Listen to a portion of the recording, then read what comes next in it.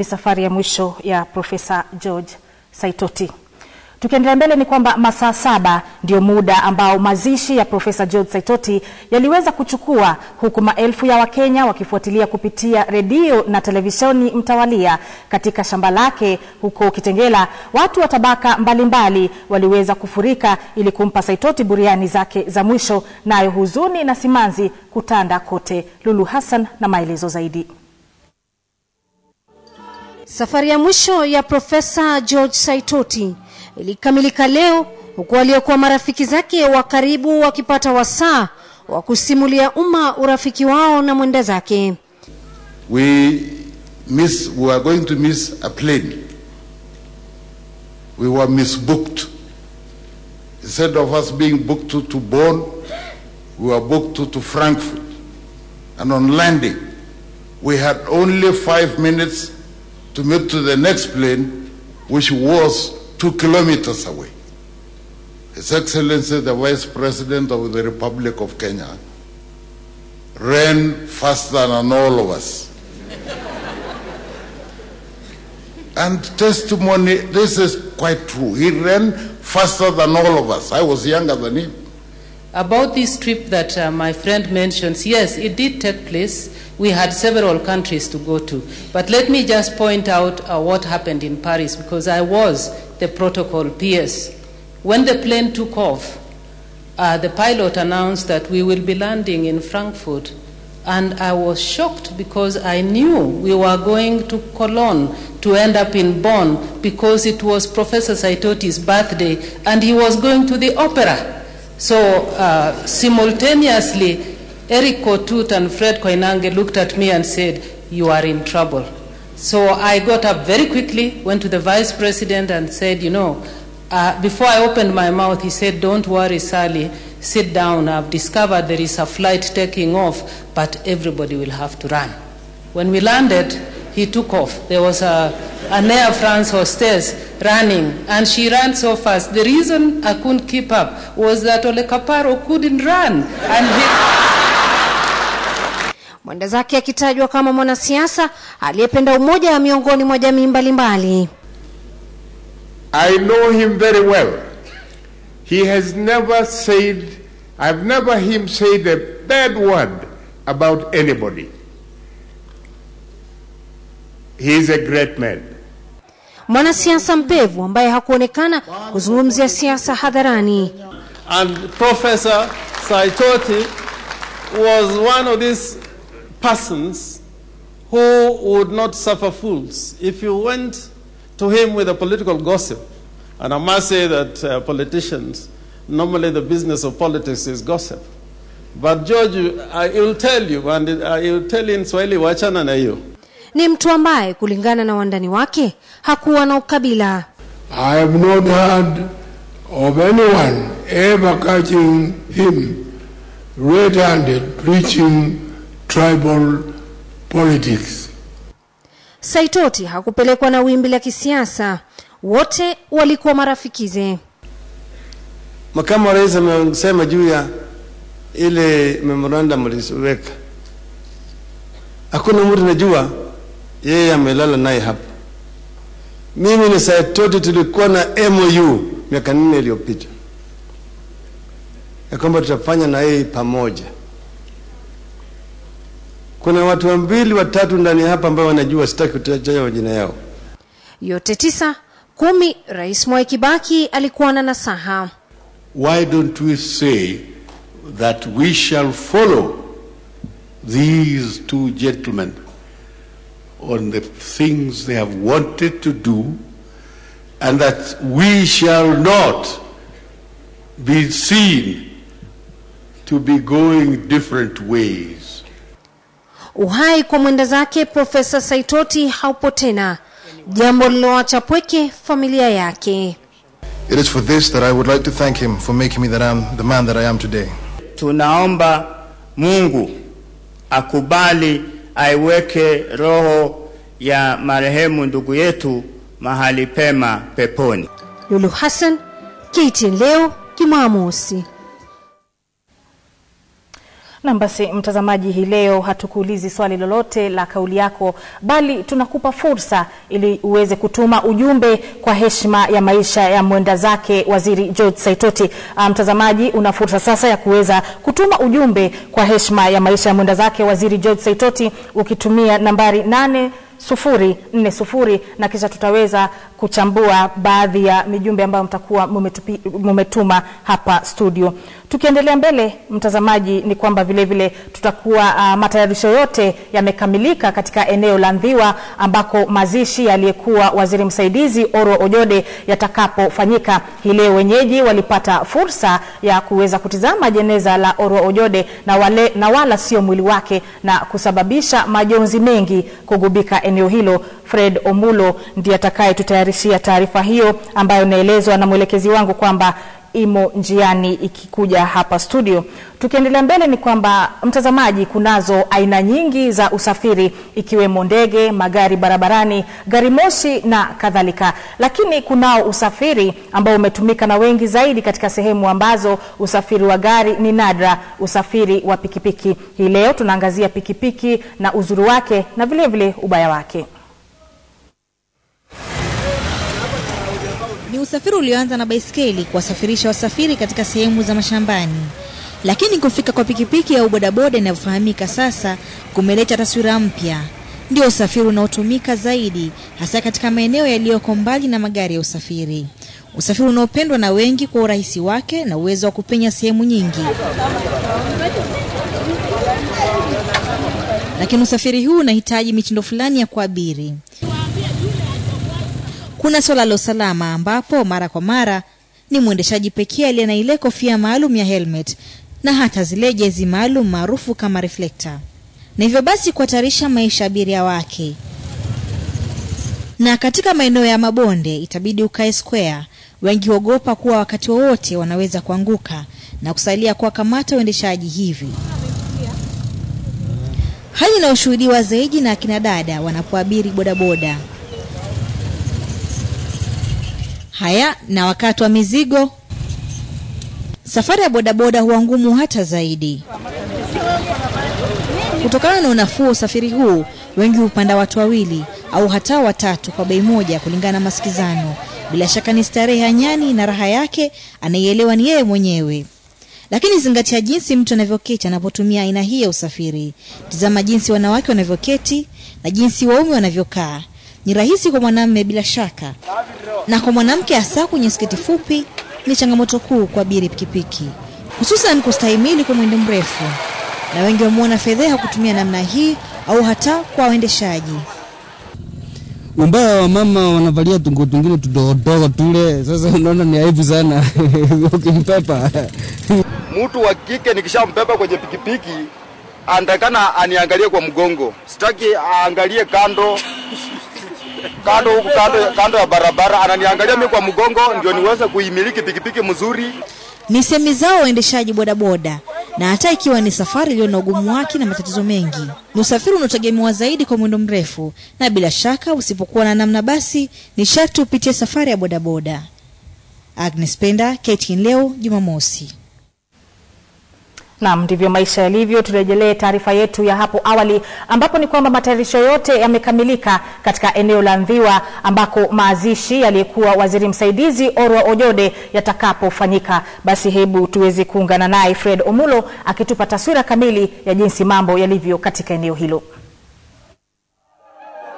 Biwi la simanzi lilitanda kwenye kijiji cha Unga Jumamosi asubuhi, wakaaji wa eneo hili wakijaribu kukabiliana na msiba uliowapata. Wanakijiji waliojawa na majonzi walimiminika ndani ya boma ya marehemu angalau wapate kuliona jeneza lililombeba, kwani halingeweza kufunguliwa kwa sababu ya hali ya maiti. Marehemu waziri msaidizi wa usalama atazikwa kesho. Baadhi ya wataohudhuria ni maafisa wa serikali wakiongozwa na Rais Mwai Kibaki na waziri mkuu Raila Odinga. Wabunge na wawakilishi wa nchi za kigeni pamoja na marafiki na jamii pia watafika. Today we are taking care of our visitors who have come in good number. To, we will slaughter 15 bulls of cows to help us take care of them between now and tomorrow. Simultaneously, the church function is going on today, and tomorrow will be state function. Well, I only ask for peace in the process uh, until we finish up the ceremony of sending off my brother, Honorable Joshua Jode. Ingawa kulikuwa na hofu katika familia kwamba angeweza kuzikwa kwingine, marehemu Jode atalazwa kwenye boma lake kijijini Unga, ambapo maafisa wakuu wa serikali wataungana na familia yake kumaga marehemu. Misa ya mazishi itaanza saa tatu asubuhi hadi saa nane alasiri, wakati mwili utateremshwa kaburini. Matayarisho ya mazishi ya marehemu waziri msaidizi Oro Ojode yaliendelea leo bila ugomvi. Hivi sasa familia na wenyeji wa kijiji cha Unga wanangojea kumzika mbunge wao kesho. Nikiripoti kutoka kaunti ya Homa Bay, mimi ni Fredo Mulo. Nam basi, shukran Fred. Na mtazamaji, hapo kesho runinga ya KTN itaweza kupeperusha mazishi ya Oro Ojode moja kwa moja kutoka eneo la Ndhiwa. Kwa hivyo basi, mtazamaji, uendelee kukaa nasi ili usiweze kupitwa na yatakayofanyika. Na kurejesha kwake um, Mwanaisha Chizuga, sijui umetutayarisha vipi?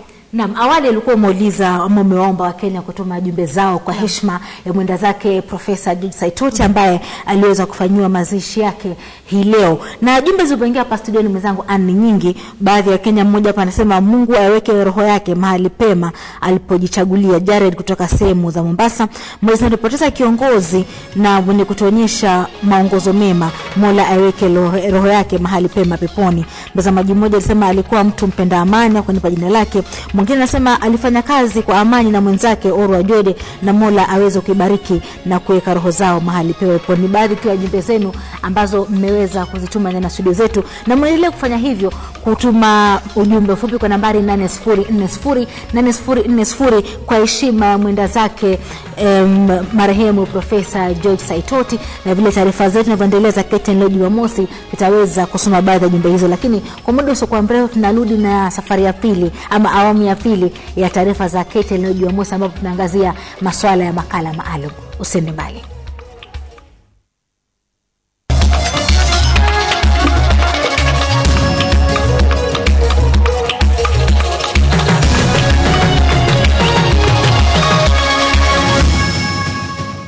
The best things come from nature. That's why I trust nature to take care of me. Though germs can get in the way. That's why I love the gentle care and goodness that nature provides. New Dettol Natural with Dettol's trusted protection plus calendula and chamomile extracts gives me naturally healthy looking skin.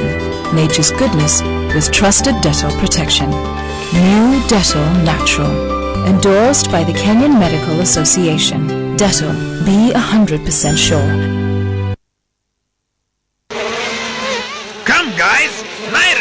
Time to spread malaria. All clear! Attack! The majority of malaria bites occur at night when the effect of ordinary repellents wears off. Not in my house.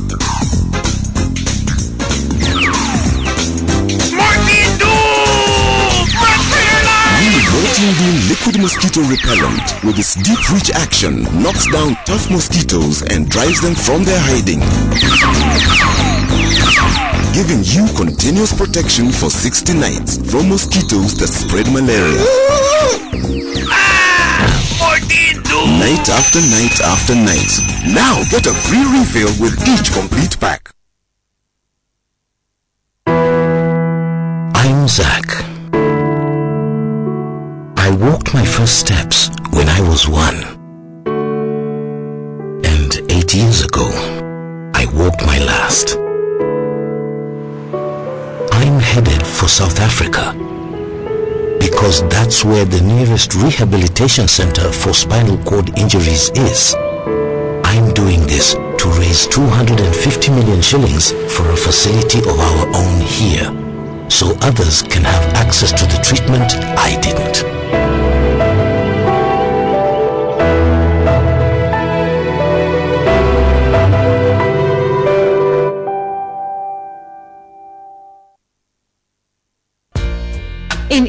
Woman this weekend, untold stories of fathers by their doting daughters to mark Father's Day. Spotlight on top petition Susie Wakabi, founder of Susie Beauty Cosmetics. Get Eve Woman in the standard for this and more.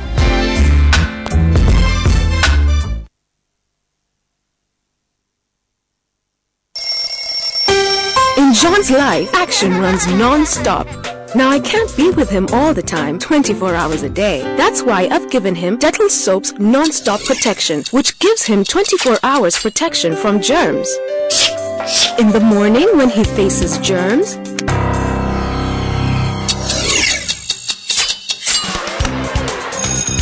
afternoon when he's up to mischief.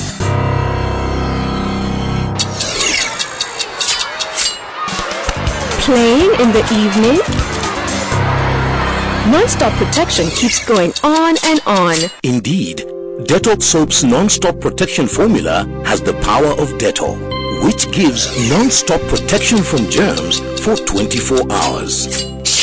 All day and all night. Mother's weapon for non-stop protection. Dettol. Be 100% sure.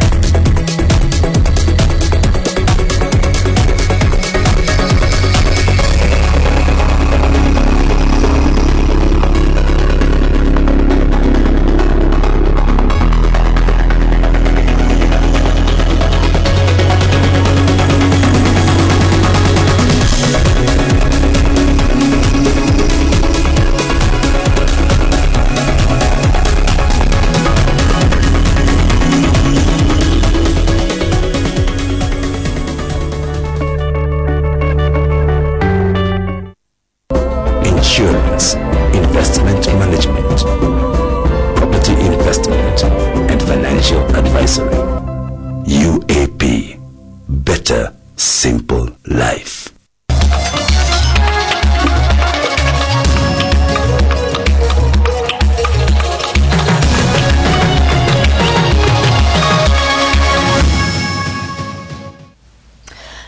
Karibu tena. Kabla basi Mwanaisha Chizuga hajaweza kutupeleka kwenye sehemu ya pili ambayo naamini unaisubiri sana, kwani ina mambo muhimu sana.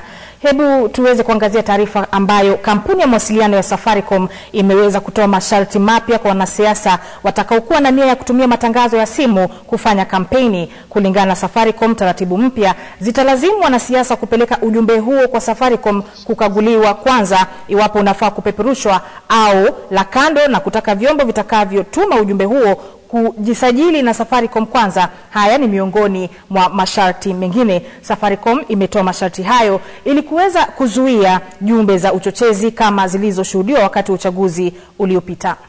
Naam, tukiweza kutafakari hayo uh, Mwanaisha, sijui sasa mambo yako vipi, manake naona tunayo makala kuhusiana na mavazi. Anguji, bila shaka kama umeweza kutembea sehemu mbalimbali hapa jijini Nairobi, haswa utaona wasichana ama vijana wakivaa nguo aina mbalimbali, wakielekea kazini, wakielekea katika shughuli zao za hapa na pale, bila kujiuliza swa nguo waliovaa inastahili kuvaliwa kwa ile kazi wanaofanya, ama katika maeneo ambayo wanastahili kwenda pengine kutafuta kazi, kwa sababu kama unafanya kazi ya upishi, uko na jezi zako maalum. Kama kazi yako ni ofisini, uko na nguo maalum watakana uvae, ama kama ni msaidizi wa mkurugenzi, vile vile kuna baadhi ya nguo ambazo unastahili kuvaa ili uhakikishe kwamba heshima yako iko pale pale. Basi kutokana na masuala haya, ambapo katika siku za hivi karibuni kumekuwa na mabadiliko ya kimitindo ya kimavazi kutokana na athari za mataifa kigeni na kazi ambazo baadhi wamekuwa wakifanya. Lakini je, una habari kuwa nguo unayovaa inaweza kuashiria wewe ni mtu aina gani katika jamii au hata kukufanya kukosa nafasi ya kazi unapokwenda kuomba kazi au kuhudhuria mikutano na maeneo ya kazi? Mwanahabari mwenzangu Basil Hassan analijadili swala hili na jinsi jamii inavyochukulia swala hili kwa ujumla.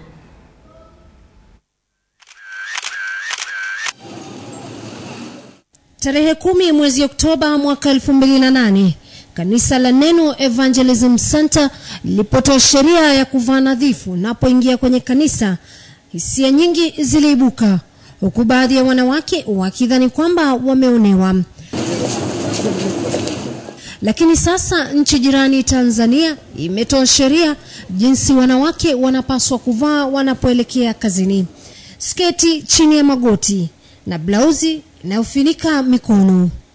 Unapopiga darubini nchi jirani ya Uganda, sheria ni hizo hizo. Je, kuna haja ya wanawake humu nchini kuiga mitindo ya nchi jirani?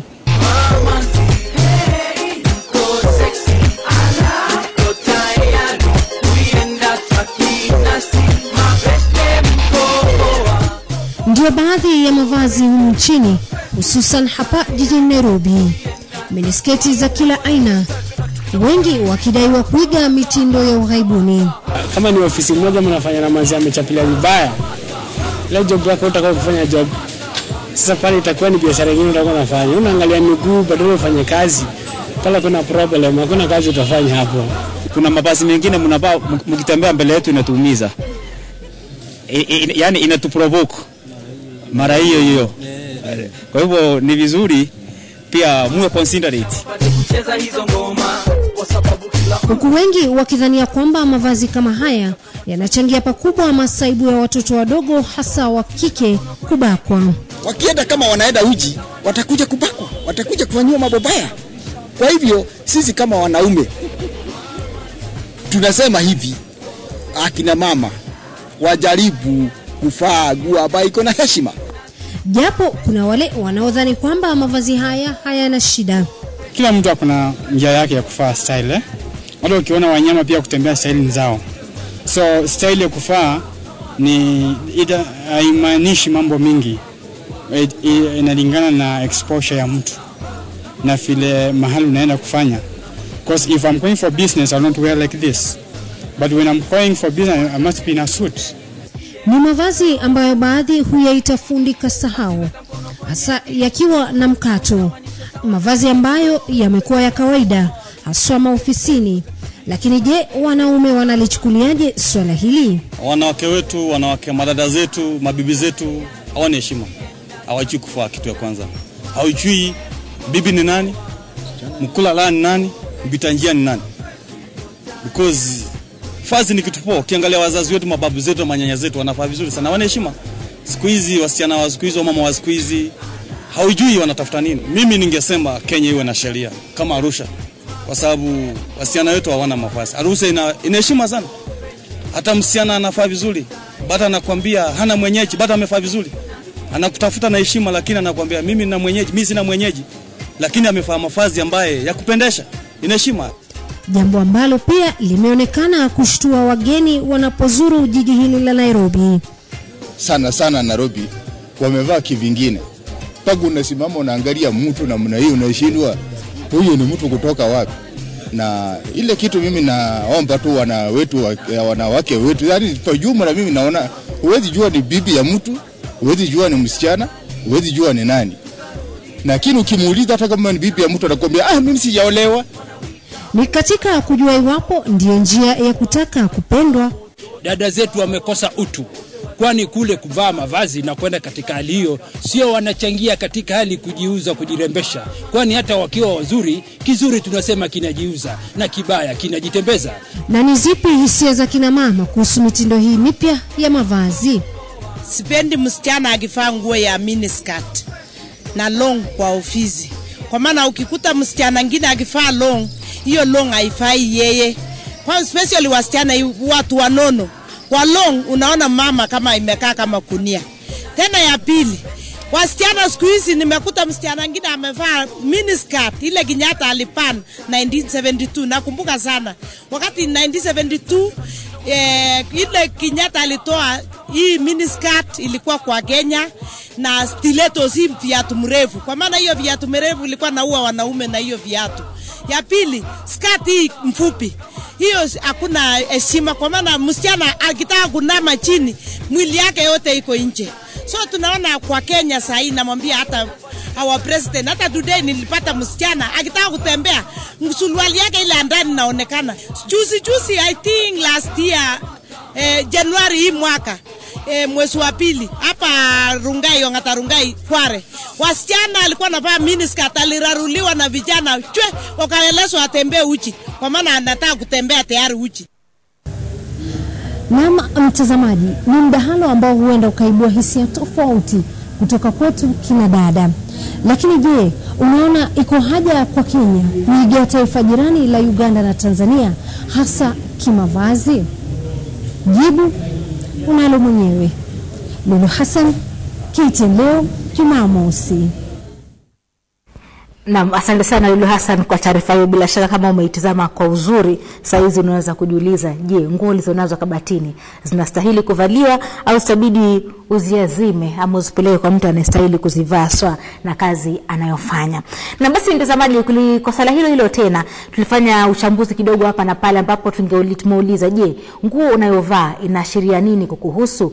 Nguo unayovaa inaashiria nini kuhusu haswa mavazi yasiyo nadhifu? Naam, kupitia runinga yako basi, kama unavyoona kwa sasa, baadhi ya nguo ambazo unavaa kama haziko nadhifu, watu watakudhania vibaya kwa na kudhani kwamba wewe hauna heshima, na nguo zingine ambazo pengine ukiweza kuzivaa vile vile, kwa mfano ikuwa fupi sana ama umeshindwa kuipiga pasi, haina vifungo, watu wanaweza kukosa kukuamini, na pengine kama mtu atakufanya jambo fulani asifanye naye kutokana na wale mavazi ambayo umeweza kuvaa.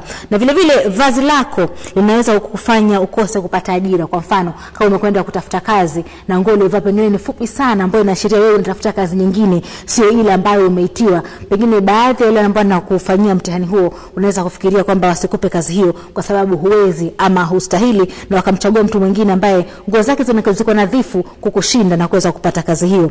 Vile vile jamii mara nyingi hukudhania visivyo, hasa wazazi, kutokana na mavazi yako. Kwa mfano, kama utakuwa msichana umeenda kwa babake na mamake, we, umevaa majuma, vipuli, eh, mikufu na minisketi zingine fupi, pengine na manguo za kuashiria kwamba basi bado uko sokoni, pengine wazazi watakuwa na wasiwasi kusema huyu kweli ataweza kumwoa mtoto wetu au ataweza kuolewa na mtoto wetu, pengine kuchangia wewe kukosa mchumba. Ukosefu wa unadhifu kusababisha watu kukosa imani na wewe. Vile vile, kwa mfano, umetafuta kazi, nguo zako umekwenda kukupiga pasi, au umevaa nguo ambazo zimekubana sana, machiti yote yako nje, ama sehemu zako za siri ziko nje, watu watakosa imani na wewe, watakwambia huyu hawezi kuaminika na kazi ambayo tunaweza kuifanya. Kwa mfano, kama wewe ni msaidizi wa mkurugenzi, kama vazi lako litakuwa hivyo, basi litachangia wewe pengine kufikiria, pengine wale wageni wanakuja kumuona, wataanza kukuona wewe kwanza kitofauti, hivyo basi kuathiri mazungumzo yao na yeye.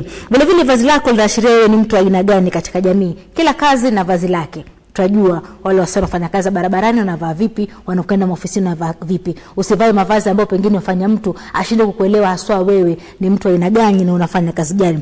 Kumbuka vile vile kwamba sio lazima kuvaa nguo za bei ya juu ili uwe nadhifu. Nguo nadhifu zinapatikana kwa bei rahisi maeneo mbalimbali hapa jijini. Bora tu upate nguo ambayo inakupendeza kulingana na bei ya mfuko wako, kwani siku zote heshima kuipata ni vigumu, lakini kupoteza ni rahisi mno.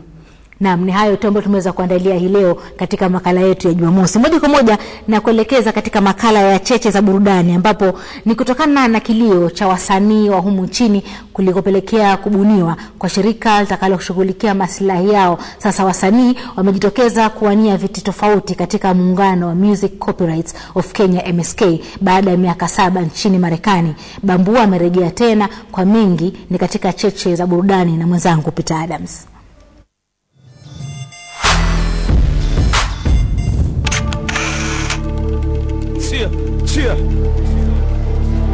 Baada ya kutoweka takriban miaka saba nchini Marekani, msanii Bambu alirejea humu nchini wiki hii. Na kando na masomo, ni kipi hasa kilichomweka nchini Marekani? behind the scenes mainly i've been you know in the in the creative area of music to see how guys make big music how it is made just to be in the environment and to watch them do it and to see how a record is crafted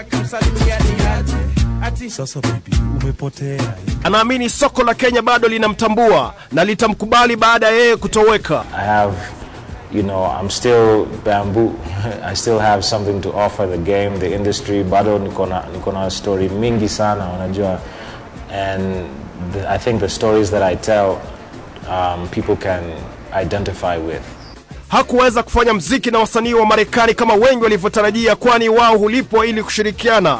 i was able to meet you know people like akon people like you know just all kinds of big artists swiss beats um, cassidy you know styles Bambu anajiandaa kushirikiana na wasanii wa humu nchini kama kazi yake ya kwanza. Time for me to pack my bags and go home. I see love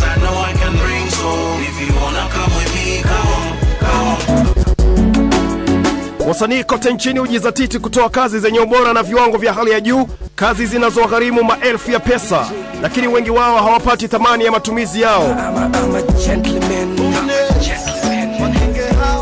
Kasela George Mwangangi maarufu kama Mongolo, Francis Hamis wengi wakimtambua kama Frasha kutoka kundi la P Unit ni baadhi ya wanaowania viti tofauti vya uchaguzi mdogo wa MCSK ili kushughulikia masilahi ya wasanii wa humu nchini. Nimejitokeza kwa sababu ya vitu mingi. Kwanza uh, tumewachia wazee kwa uongozi wa wanamuziki, tumewachia wazee kwa uongozi wa kila mahali, na ni wakati wa vijana sasa kusimama na kuchukua uongozi wa hizi ofisi na kufanya kazi. Kama vile mimi nimekuwa experience na nimekuwa na experience kule uh, kwa baraza City Hall uh, kwa miaka tano. Miaka ya nyuma kumekuwepo na lalama kuhusu mapato ya wasanii ikizingatiwa kuwa shirika la MCSK huwa linakusanya mamilioni ya fedha kutoka kwa washikadau. Ni kitu ya kwanza nitakuwa napigania uh, Musicians Association. Uh, kitu ya pili nitakuwa napigania uh, fair di distribution of uh, royalties kwa sababu sasa MCSK imebadilisha vile ilikuwa inapeana royalties uh, pesa za wanamuziki kutoka kwa uh, general distribution ile ambayo walikuwa wanachukua pesa na wanagawia kila mwanamuziki sawa sawa. Sasa imekuwa kumekuwa na scientific distribution, vile ambavyo muziki yako inachezwa kwa kwa, kwa redio ndio vile unalipwa. Kinachosikitisha ni asilimia 80 ya mapato yanakusanywa huenda kwa wasanii wa mataifa ya nje, jambo ambalo linatokana na vituo vya redio na televisheni humu nchini kutocheza kazi za wasanii wao.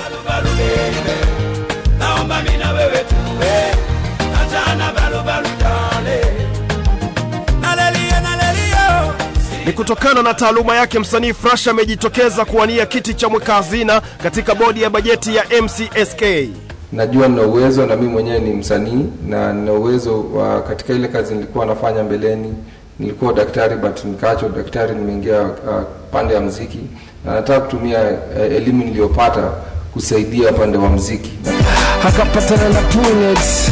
one of my main aims kuingia kwa mcsk will be to have uh, uh, medical cover for all artists Siku ya Jumatatu, wasanii wote wa humu nchini watakusanyika hapa mjini Nairobi kujadili jinsi watakavyochagua viongozi wao. On Monday saa nne ambayo sisi wanamuziki wa kizazi kipya tunakutana pale ili tuongee kabla ya election ile itakuwa uh, on Wednesday. Peter Adams, cheche za burudani, KTN leo Jumamosi.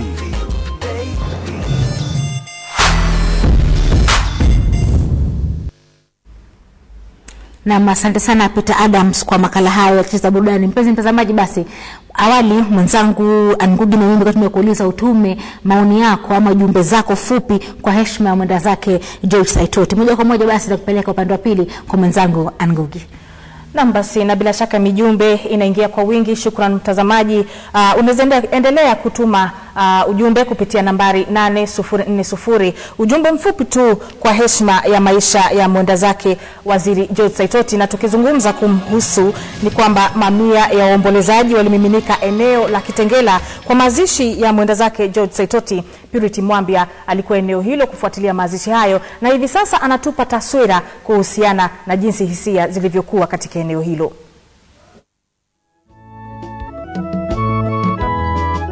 Kwa heri, kwa heri Profesa George Msengi Saitoti, wengine wakimwita Kinuthia. Safari yake ya mwisho duniani, eneo likiwa ni hili la Nkasiti, Kitengela, ibada ikiongozwa na kanisa la Kikatoliki na upande huu mwingine jamii ya Wamasai ikiendeleza utamaduni wake. Mifugo hamsini ndio waliochinjwa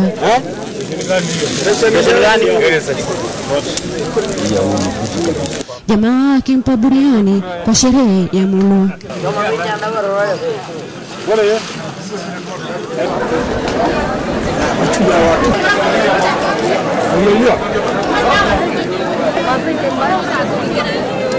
Kabla ya saa saba nyama ya mifugo hamsini ilikuwa imekwisha.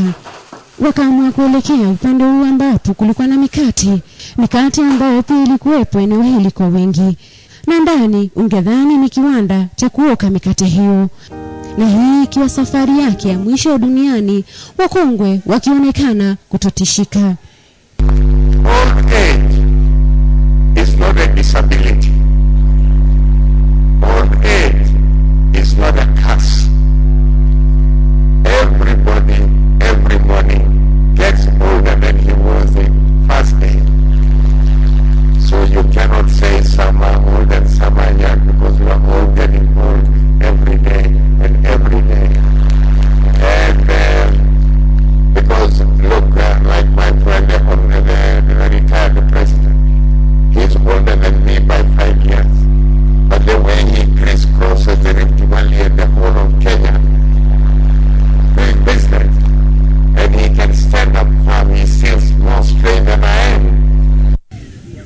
Kusema kwa heri, kwa heri Profesa George eh, Saitoti, na kama wengi husema ukiwa maishani ni kama mwenye ako safarini, na hivyo basi safari yake imefika kikomo. Wenyeji wa eneo bunge hili la Kajiado Kaskazini, baada ya kuongoza kwa zaidi ya miaka ishirini na mitano, wanasalia sasa pweke. Purity tunamwambia KTN leo Kitengela. Nam, basi baadhi ya mijumbe imeweza kuingia. Mmoja hapa anaitwa Theng, anasema anaitwa Jemo Muteleo, anasema kwamba asante sana Profesa Saitoti kwa kutujengea Mashuru Secondary School. na mtazamaji mmoja anasema alikuwa mzalendo wa ukweli na alitumikia Kenya wote wa- Wakenya wote bila ubaguzi. Viongozi waliosalia waige mfano wake. Kuna mmoja hapa ametuma ujumbe ambao bila shaka ni maombi. mm -hmm. uh, Shem Macha anasema kwamba Mungu aifariji roho yako Profesa George Saitoti. Na mtazamaji mmoja anasema hili ni pigo kwa Kenya, hatujui Mungu atajaza vipi hilo pengo, lakini Mola aweke roho yake mahali pema peponi. na mnafikiri wengi mwanaisha ni kuendelea na mijumbe ya ku, ku, ku, ku, kuweza kutoa rambirambi zao kwa jamii mm -hmm. na vile vile kuombea na- nafsi ama roho ya, ya, ya, ya Profesa Jules Saitoti na, na bila shaka watazamaji wanaendelea kutuma mijumbe na tutaendelea kuvisoma pindi tunavyoendelea na taarifa za K, eh, KTN Jumamosi. Na bila shaka kwa niaba ya shirika zima la Standard Group vile vile tunaungana na Wakenya katika kuiombea nafsi yake na roho yake, na bila shaka Mola ataiweka roho yake mahali pema peponi na kutupa kiongozi mwingine bora zaidi kuliko angalau pengine hataweza kujaza pengo lake, lakini ambaye atakuwa na maono na maongozi kama hayo kama na fikra kama zake. Na basi kwa muda usiokuwa mrefu narudi na taarifa za spoti. Tunataka sote tuungane pamoja kujenga nchi ya Kenya na kujenga nchi ya Masai, na nauliza viongozi wote msijijadiliane. Um, Professor Saitoti Saitoti's talks cross parties.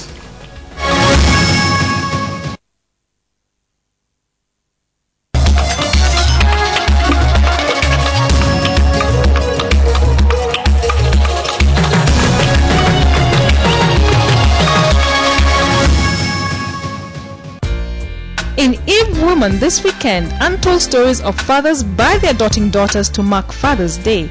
Spotlight on top petition Susie Wakabi, founder of Susie Beauty Cosmetics.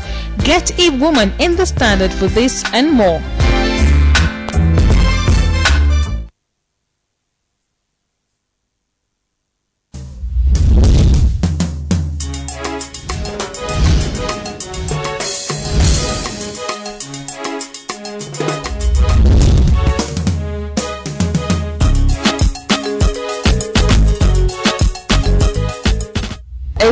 This chick should in include the boyfriend sababu uh, these things zimekuwa such a major issue in our society so ndo mkuje to a conclusion so that hata kuwa na complication on anything at least you the two of you itakuwa mtu mmoja I think the girl should involve the boyfriend in the decision. Uh, he's the one who will uh, back up the financial needs. So in case they don't, uh, she wants to use contraceptives to prevent her from getting pregnant. Uh, he should know. I think you should involve your guy in case of as in any future complications, stress and s- vitu kaa hizo.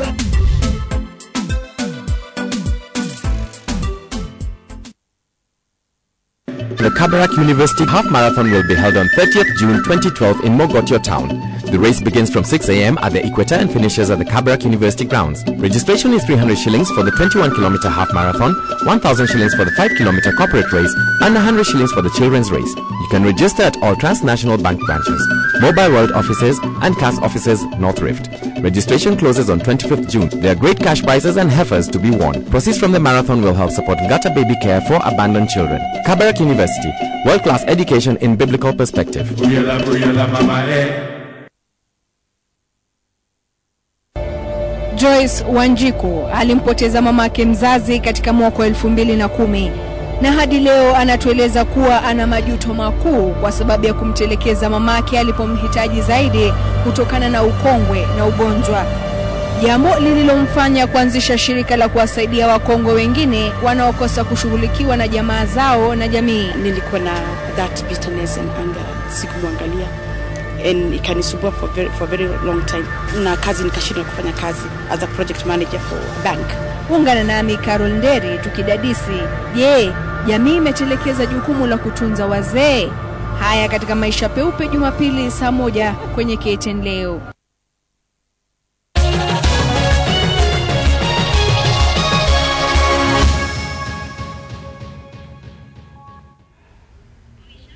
Naam, karibu katika safu ya spoti ambapo timu ya mchezo wa raga kutoka Uingereza kwa jina English Counties ilipata ushindi wa mechi yake ya pili Afrika Mashariki dhidi ya timu mseto ya Elgon Warriors kwa alama 34 kwa 14. Timu ya Elgon Warriors ambayo ilijumuisha wachezaji maarufu wa mchezo wa raga kutoka Kenya ilijipata matatani kuanzia mwanzoni wa mechi hii baada ya wageni kufunga alama za mapema. Wakati mmoja nusura ya mechi isimamishwe muda baada ya wachezaji kupimana nguvu. Kufikia wakati wa mapumziko, wenyeji walikuwa nyuma kwa alama sita dhidi ya kumi na tisa ya wenyeji. Hata hivyo, wachezaji kama vile Humphrey Kayange, Collins Injera, Dima Adema na Lavina Sego walichezea timu mseto ya wageni na kuwapa ushindi wa alama 34 kwa 14. Matokeo haya sasa yamewapa wageni ushindi thabiti wa msururu huu ulioanza chini nchini Uganda wiki jana.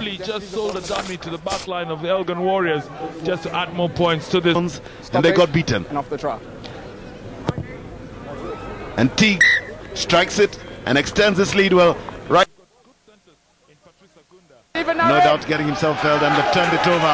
The East Africans, the Warriors. David Ambunya beats one, two defenders with a shove the ball, but the defense is again impenetrable. Timu ya Uganda, Cameroon, Algeria na Malawi zimeandikisha ushindi na kufuzu kwa raundi ya pili ya kufuzu kwa dimba la kandanda barani Afrika baada ya kushinda mechi zao hii leo. Timu ya taifa ya Kenya, Harambee Stars, ilifanya mazoezi mapesi hii leo kule Luo Mtogo kabla ya mechi yao ya marudiano hapo kesho. Kocha wa Harambee Stars Francis Kimanzi amedokeza kuwa atataja kikosi chake muda mfupi kabla ya mechi hapo kesho, licha ya wasiwasi kuhusiana na hali ya usalama nchini humo. Kenya inaongoza kwa mabao mawili kwa moja baada ya raundi ya kwanza ya Tanzania itacheza na Msumbiji, ilhali Nigeria itaalika Rwanda katika mechi nyingine hapo kesho. Naam, utovu wa nidhamu miongoni mwa madereva wa mbio za magari nchini umepelekea baadhi ya madereva kutishia kususia mbio hizo hadi usalama wao na wa mashabiki uimarishwe. Mwanahabari mwenzangu Sadik Shaban na taarifa hiyo kwa kina.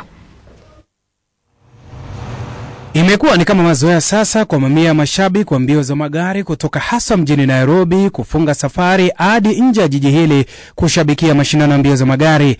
Kuwepo kwao bila shaka kumechangia pakubwa katika umaarufu na ukuaji wa mbio hizi ambao unazidi kuvutia idadi kubwa ya madereva pamoja na wadhamini. Umaarufu wa mbio za magari nchini Kenya bila shaka ni jambo ambalo silo geni kwa wengi, lakini jambo linalohatarisha kwa sasa ni tabia ya baadhi ya mashabiki wa mashindano haya ambao wanazidi kutia maisha ya wengi hatarini kila wanaposhuhudia ama wanaposafiri kushuhudia mashindano haya. Ulevi wa kupindukia na kujigeuza madereva wa mashindano hayo sasa umefikia kiwango cha kuhatarisha. kila mtu ako na baa yake anafungua kwa, kwa, kwa, kwa gari. Kama ile picha iko kwa facebook yenyewe tu atakiona utapata. Polisi wakienda leo wataona namba plate ya gari pombe juu ya crate ingine na ingine watashika watu hata karibu ishirini. Wale ni hooligans kama wale unasikia kama wale wako huko Ukraine sasa wale walikuwa nahofiwa kwa hii euro Mbio za Safari rali za mwaka huu zilishuhudia visa vya mashabiki kuandaa sherehe za ulevi na visa vingine visivyofaa katika mandhari ya umma. Katika hali hii, wengi walijitia hatarini kwa kushabikia magari ya mashindano wakiwa karibu, tena wengi wao wakiwa walevi. iko kikundi imejitokeza ambao ni hatari sana kwa mwananchi wa kawaida, kwa madereva wa rali, hata kwa you know, mtu ambaye hana shughuli na rali at all. Zaidi ya ajali 17 zilitokea katika kipindi cha siku mbili kulingana na polisi, wakati mashindano ya Safari rali yalipoandaliwa kule Kajiado. Watu watatu waliokuwa katika gari hili wakielekea nchini Tanzania waliaga dunia muda mfupi baadaye baada ya kuhusika katika ajali iliyohusisha mashabiki waliotoka kushuhudia mbio za magari. Na licha ya ajali hii, kuna mashabiki ambao bado walizidi kukiuka sheria za barabarani